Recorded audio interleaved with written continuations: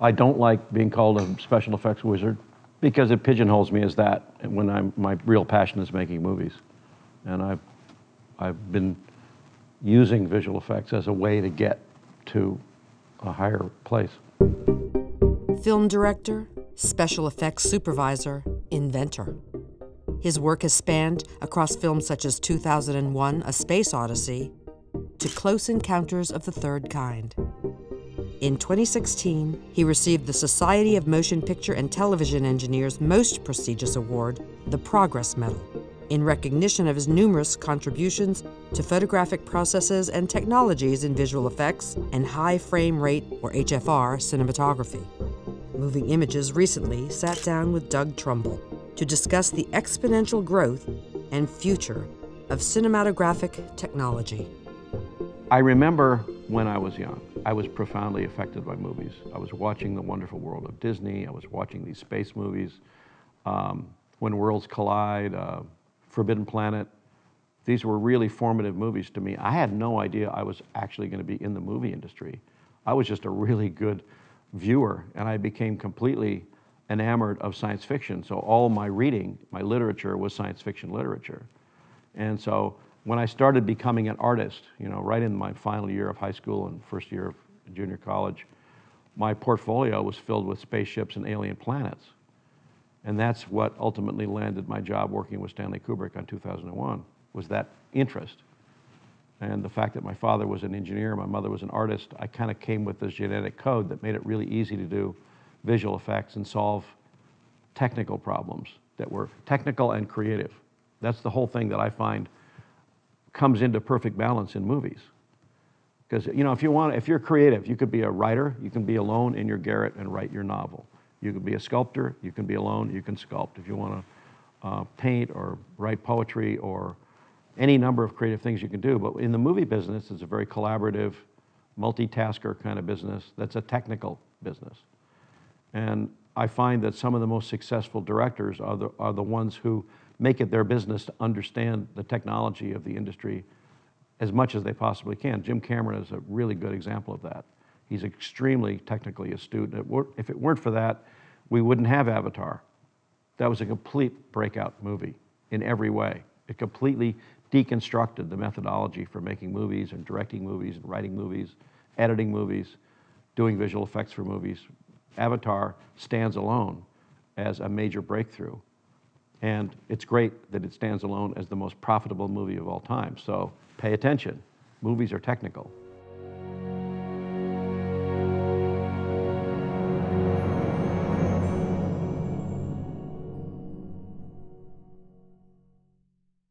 When I was a child, you would go out to a movie and see uh, two movies back to back in a double bill. You'd see a documentary, a cartoon, any, any number of things, some news even in the very early days.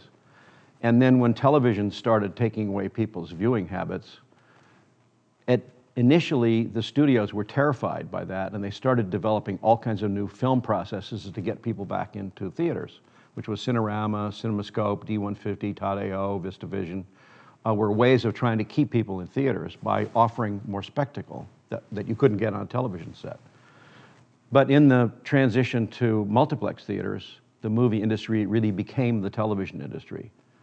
And right now, we're at a moment in time where the technical specifications for a movie and a television show are identical. The quality and size and focal lengths of lens and cameras, they're all the same between television and movies. I think what's been lost is this sense of uh, showmanship and, and, and immersion and spectacle that you can get on a giant screen in a big theater. And I've been very conscious of this for a long, long time. And even when I was working with Stanley Kubrick back on 2001, he was conscious of the fact that 24 frames a second is just not enough. And we were, we were trying to move stars across the screen, which seems like a very simple thing. But because of the double shutter in the projector, we were seeing two stars, and it went too fast, you'd see three stars. He said, What's this? And he said, Well, it's, it's one of the artifacts of the inadequacies of 24 frames and the fact that every frame is shown twice. And that was the beginning of my consciousness of the fact that now that we're in the digital realm, we can abandon all the old standards of shutter openings and resolution and frame rates and look at the, the industry with fresh eyes and take advantage of uh, the power of digital. Because you can buy a camera for not, you know, a few hundred dollars. You can plug that data card right into your laptop and edit it right there on any editing system. And it's just enabled a tremendous explosion of content.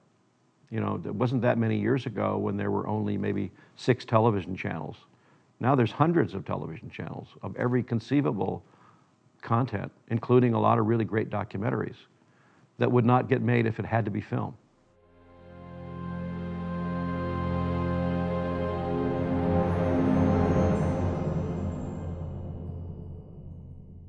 The big blockbuster sequel tentpoles, they think make the most money.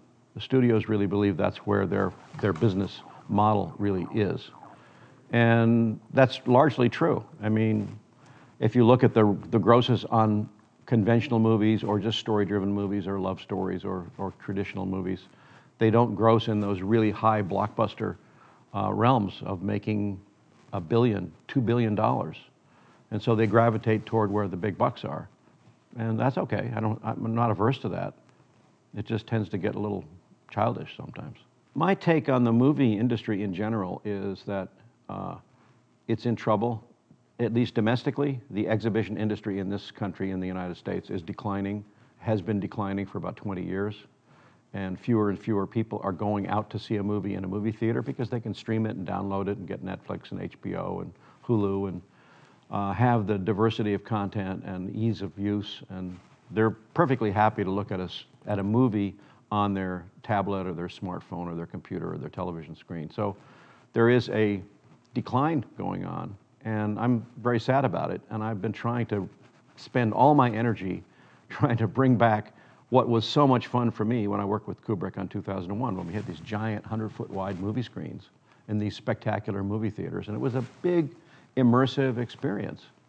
And that doesn't exist today. We multiplexed ourselves into small screens.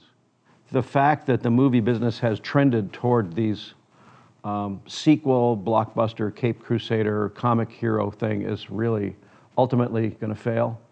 I don't think it's very satisfactory. I think it's catering to a very narrow demographic of age group.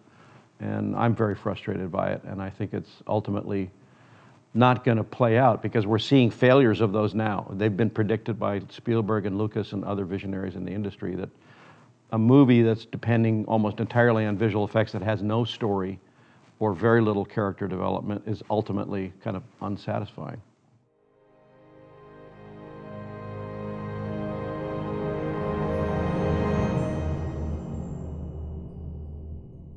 This object behind me is called the Magi Pod. It's just a, a name for uh, the idea that if you quadruple the resolution of the image, it's 4K instead of 2K, so it's actually twice as high, twice as wide numbers of pixels, 4,000 pixels wide instead of 2,000 pixels wide.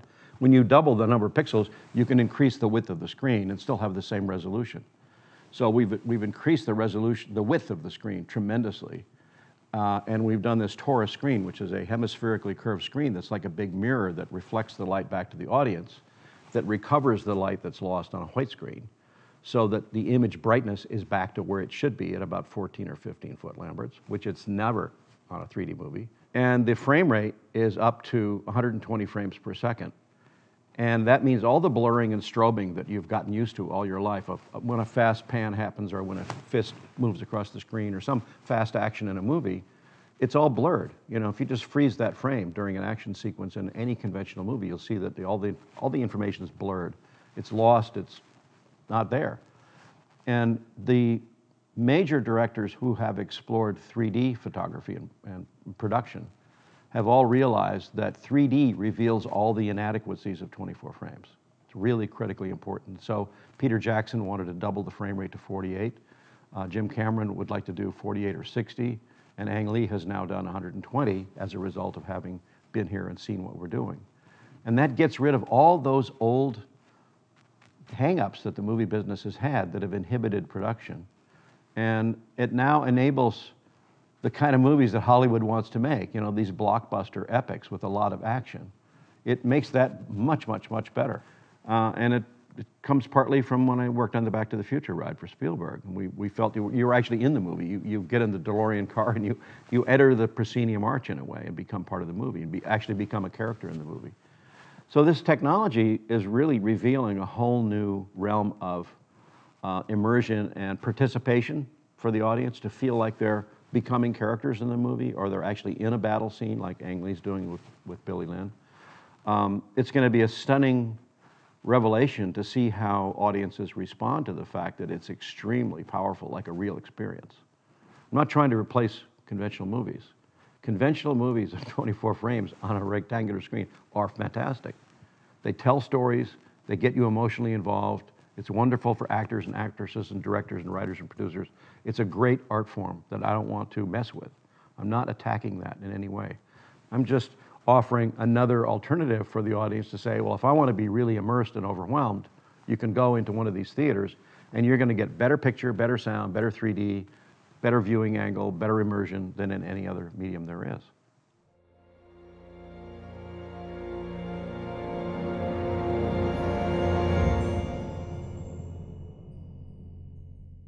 Well, my father never talked very much about his years in the movie industry. He actually didn't like it very much he had a lot of fun. He was a young guy like I was on 2001, and he was he was manipulating the lion's tail in the Wizard of Oz and helping rig the flying monkeys, wire rigs and stuff like that.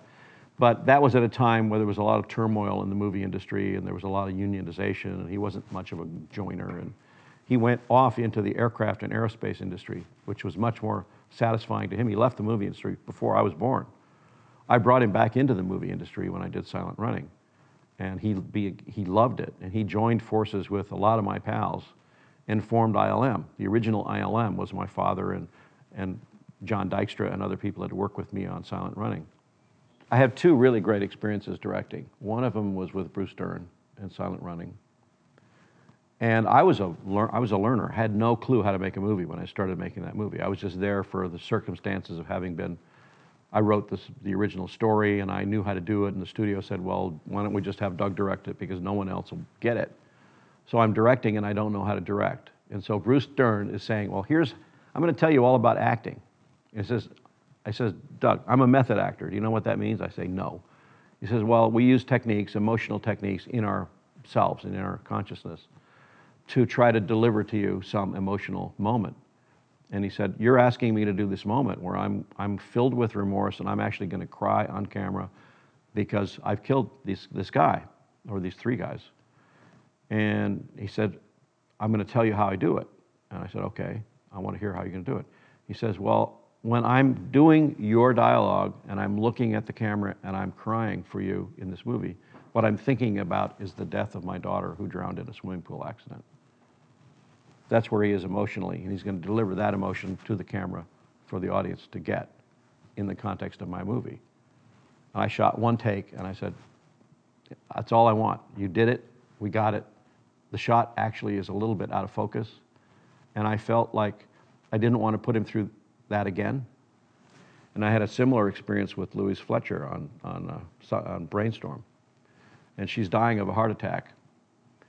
And she had to feel the pain of this heart attack. And she'd rehearsed this thing and she kind of developed this whole scene herself of the kind of pain that she was feeling in her left arm and this kind of freezing up of her body. And she had to walk across the room and sit in a chair and then put this helmet on and record her death. And it was a very, very tricky and complicated shot that had all kinds of visual effects and projectors and laser beams and crap going on the set. And she had to do this scene. And it was so perfect when she did it that I just, I just said, cut, that's it, one take, we're done. This is, I didn't want to go through it again, and I, I imagine she didn't want to go through it again. And there's moments that you know you've got it in the, in the, in the can. As long as it's in focus and everything works well, you've got it and you just move on. But those are, for me, those are usually the moments when I know an actor or actress has been put through some kind of personal, emotional stretch to get there. And you're really lucky when that happens while the camera's rolling.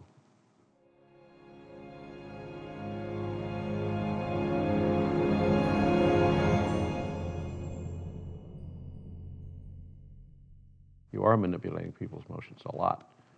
I think that movies are, are a kind of a surrogate emotional release. People go to the theater to, to feel and experience stuff that's, that they can do in a movie theater safely. It's dark. If they cry, no one's going to notice. If they feel something profoundly, it really relates to their real life or their lost child or their dying mother, whatever their personal stories are. A movie theater is a great communal place to participate in an, emotion, an emotional release. I think it's one of the greatest services that movies provide is a safe place to get rid of a lot of stuff that we all carry around. It's, it's what everyone's looking for uh, in making movies. It's what they're hunting for when they show a preview of a movie and they'll say, well, yeah, the audience got to that point in the movie, but it didn't quite work. There's something kind of wrong there with what she said or what he looked like or what his expression was. And the studio will react to that and go back and sometimes reshoot it or recut it to try to evoke the response that they're hoping for, which they hope will lead to box office revenues, nothing more than that. But they know that you get there through the functionality of the movie actually delivering a satisfactory experience for the audience.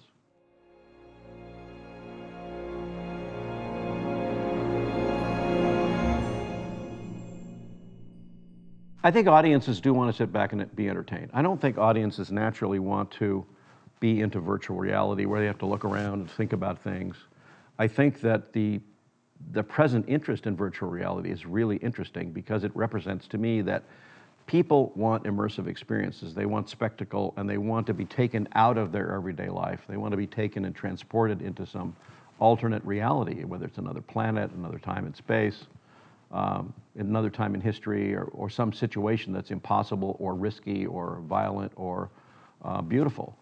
Uh, I think people really want that. I, there's no question in my mind that all the all my experience with IMAX and with ShowScan and with giant screens and with the Back to the Future ride have shown me that people really love this stuff.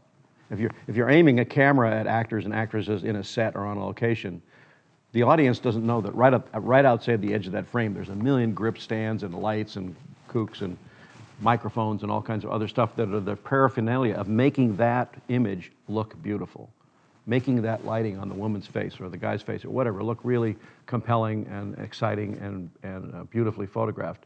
When you do VR and you're shooting 360 degrees, that's almost impossible. So I don't think VR is a magic bullet. I don't think it's going to solve everything. I think it's much more appropriately used for like gaming where you're interacting and you're controlling the direction you're going and you're controlling what's going on in a game and it's good to look behind your head and see if the, if the monster's back there or whatever. So I think there's tremendous room for VR. I think that there's another area that's going to be possibly much more impactful, which is AR, augmented reality, or, or what Rony Abovitz at Magic Leap calls mixed reality, where you're able to see the real world, but the optical system that's in your glasses is actually adding characters or things or objects to your field of view that seem to be right in front of you and on the table or in the room with you and interacting with you in a completely different way so that you don't lose your bearings. You don't have to put on some big headset and give up the real world. So you have the real world with things augmenting it. I think that's going to be really important and really interesting to see how that develops creatively.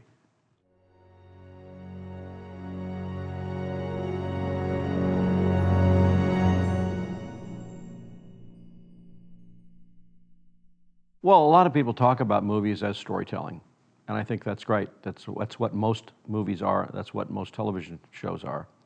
But there's another aspect to it, which is experience making, which is much more like IMAX or Cinerama or the whole idea of the, the scope of the image being so epic and spectacular that it's an experience for the audience. And it's not necessarily locked exactly to the storytelling part of it.